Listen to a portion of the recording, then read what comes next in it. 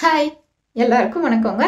Welcome back to this happy mummy இன்னைக்கு வீடியோவில் நான் உங்கள் கூட ஷேர் பண்ணுறது நம்ம வந்து தாய்ப்பாலை எப்படி அதிகப்படுத்துறது அப்படிங்கிறத பற்றி தாய்ப்பால் அதிகப்படுத்துறது அப்படிங்கிறது ரொம்பவுமே ஒரு சுலபமான ஒரு விஷயம். நான் போடுற வீடியோஸ் உங்களுக்கு பிடிச்சது அப்படின்னா சப்ஸ்கிரைப் பண்ணுங்க லைக் பண்ணுங்க அண்ட் ஷேர் பண்ணுங்க. அடிப்படையான விஷயங்கள் தெரிஞ்சுது அப்படின்னா வந்து தாய்ப்பால் அதிகரிக்கிறது ரொம்பவுமே ஈஸியான விஷயம். அதாவது நம்ம பாடியில் வந்து பல விஷயங்கள் வந்து ஹார்மோன்ஸ் மூலமாக தான் வந்து வேலை செய்யுதுங்க இப்போ நான் வந்து ஒரு இமேஜ் உங்கள் கூட ஷேர் பண்ணுறேன் அதில் பார்த்தீங்க அப்படின்னா குழந்தை வந்து நிப்பில மட்டும் வந்து வச்சு அவங்க சக் பண்ணுறாங்க அப்படின்னா வந்து ஃபஸ்ட்டு வந்து அம்மாவுக்கு அது வந்து வலிக்கும். ரெண்டாவது குழந்தைக்கு சரியாக பால் போகாது.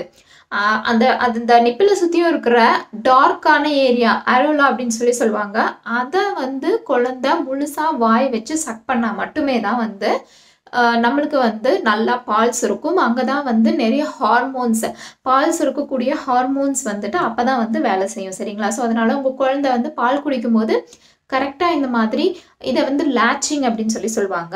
அந்த மாதிரி கரெக்டாக வந்து ஃபுல்லாக வாய் வச்சு அவங்க வந்து குடிக்கிறாங்களா அப்படிங்கிறத கவனி கவனிச்சு பாருங்க. அம்மா ஒரு அமைதியான சந்தோஷமான மனநிலையில் இருக்காங்க அப்படின்னா கண்டிப்பாக அவங்களுக்கு வந்து நல்லா பால் சுரக்கும் அப்படின்னு சொல்லி சொல்கிறாங்க ஸோ இது வந்து பால் சுரக்கிறது அப்படிங்கிறதே பார்த்தீங்க அப்படின்னா உங்கள் குழந்தைக்கு எவ்வளவு தேவையோ அவ்வளோக்கும் கண்டிப்பாக பால் சுரக்கும். என் குழந்தை நிறைய குடிக்கிறான் நைட்டில் நிறைய குடிக்கிறான் காலையில் கம்மியாக குடிக்கிறான். அந்த மாதிரி எல்லாம் வந்துட்டு இதில் நீங்கள் அதை பற்றிலாம் குழப்பிக்கவே தேவையில்லை. உங்கள் குழந்தைக்கு எவ்வளவு தேவையோ ஒரு ரொட்டீன் இருக்கும் இல்லைங்களா? உங்கள் குழந்தை வந்து காலையில் வந்து ஒரு க- பால் குடிப்பாங்க. மறுபடியும் தூங்கிட்டு மறுபடியும் எழுந்திரிச்சு பால் குடிப்பாங்க. அந்த மாதிரி அதுக்கேற்ற மாதிரி உங்கள் பாடியும் வந்துட்டு அந்த ரொட்டீனுக்கு ஏற்ற மாதிரி மாறிடும். இந்த பிரஸ் மில்க் சப்ளை அப்படிங்கிறது வந்துட்டு டிமாண்ட் அண்ட் சப்ளை அப்படிங்கிற மாதிரி எவ்வளோ தேவையோ அதுக்கேற்ற மாதிரி உங்கள் பால் வந்து சுரக்க ஆரம்பிக்கும். அண்ட் நீங்கள் எவ்வளோக்கு எவ்வளோ அதிகமாக நீங்கள் பால் குடிக்கிறீங்களோ அவ்வளவுக்கு அவ்வளோ அதிகமாக உங்களுக்கு பால் சுரக்கும். அதுதான் உண்மை.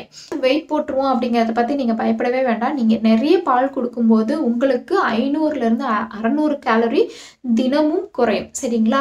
ஸோ நீங்கள் வந்து எவ்வளோக்கு எவ்வளோ பால் கொடுக்குறீங்களோ அவ்வளோக்கு எவ்வளோ உங்கள் குழந்தைக்கு நல்லது அது உங்களுக்கும் நல்லது.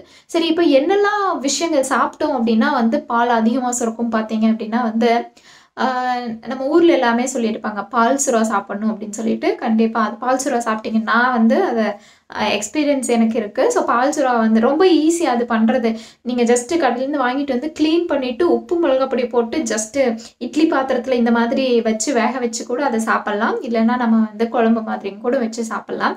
அது ரெண்டு வகையிலுமே நம்ம சாப்பிட்லாம். நல்லாயிருக்கும் ஸோ அது ட்ரை பண்ணி பாருங்கள் ரெண்டாவது முருங்கைக்கீரை. முருங்கைக்கீரை முருங்கைப்பூ முருங்கைக்காய்னு எல்லாமே நல்லது.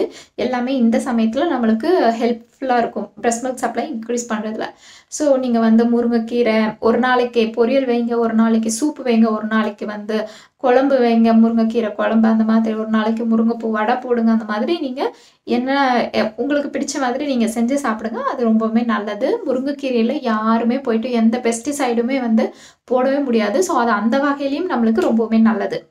அடுத்து பார்த்தீங்க அப்படின்னா வந்து பூண்டு.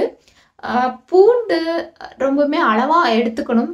பூண்டு எடுத்துக்க போகிறவங்க ஸோ ஒரு நாளைக்கு வந்து மூணுலேருந்து நாலு பல்லு பூண்டு மட்டும் எடுத்துக்கோங்க. ஸோ அதை வந்து நீங்கள் சும்மா வந்து அந்த நெட்டியை கட் பண்ணிவிட்டு நீங்கள் அப்படியே டோஸ்ட் பண்ணிவிட்டு நீங்கள் சாப்பிடலாம்.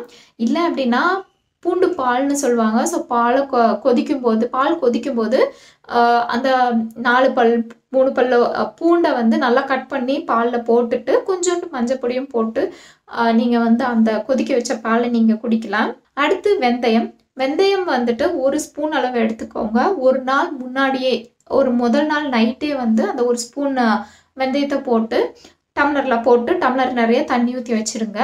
ஸோ வெந்தயத்தை நிஜமாக என்னால் நானும் இதை எக்ஸ்பீரியன்ஸ் பண்ணியிருக்கேன். ஸோ வெந்தயத்தை என்னால் சாப்பிட முடியல. அதனால் உங்களால் முடிஞ்ச நீங்கள் வெந்தயத்தை சாப்பிடுங்க. இல்லை நீங்கள் அந்த தண்ணி ஊற வச்ச தண்ணியை மட்டும் நீங்கள் வந்து அடுத்த நாள் காலையில் குடிச்சிடலாம். வெந்தய கீரையும் நீங்கள் சாப்பிட்லாம். அதுவும் ரொம்ப ஹெல்ப்ஃபுல்லாக இருக்கும். அதுக்கப்புறம் பார்த்தீங்கன்னா வந்து சீரக தண்ணி சீரக தண்ணியில் வந்து நிறைய அயன் இருக்குது இப்போ வந்து பால் பத்தலை அப்படிங்கிறவங்க கண்டிப்பாக இந்த விஷயம் செய்யணும். ஸோ சீரகத்தை வந்து ஒரு ஸ்பூன் சீரகம் போட்டு ரெண்டு டம்ளராக தண்ணி ஊற்றிட்டு ஒரு டம்ளர் வரைக்கும் சுண்டுற வரைக்கும் அதை சுண்ட வச்சு நீங்கள் வந்து குடிக்கணும். ரொம்பவுமே நல்ல விஷயம்.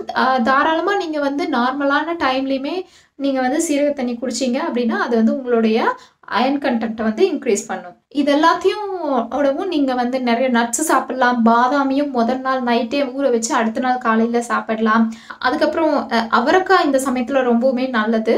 அவரைக்காய் சாப்பிடுங்க இந்த பீட்ரூட் கேரட் இந்த மாதிரி எல்லாமே நீங்கள் எடுத்துக்கலாம். சாப்பிட்றதுல எந்த ஒரு லிமிட்டேஷனுமே வேண்டாம். உங்கள் குழந்தைக்கு பால் கொடுக்கும்போது ரொம்பவுமே காமான ஒரு என்வரான்மெண்ட் இருக்கட்டும். ஒரு தனியாக ஒரு ரூமில் நீங்கள் வேறு எதுவுமே ஃபோன் பார்க்காதீங்க. வேறு யார்கிட்டையும் பேசாதீங்க. எதுவும் பண்ணாதீங்க. உங்கள் குழந்தைக்கு பால் கொடுத்தீங்க அப்படின்னா அவங்க அழகாக பால் குடிச்சிட்டு தூங்கிடுவாங்க. வயிறு நிறைய பால் குடிப்பாங்க அப்போ தான் ஸோ இந்த வீடியோ உங்கள் எல்லாத்துக்குமே வந்து ஹெல்ப்ஃபுல்லாக இருக்கும்னு நினைக்கிறேன். என்னுடைய அடுத்த வீடியோவில் பிரஸ்ட் ஃபீடிங் பொசிஷன்ஸ் அந்த மாதிரி எல்லா விஷயத்தை பற்றியும் நான் உங்க கூட வந்து ஷேர் பண்ணிக்கிறேன். இந்த வீடியோவை இதோட நான் முடிச்சுக்கிறேன். தேங்க்யூ ஃபார் வாட்சிங்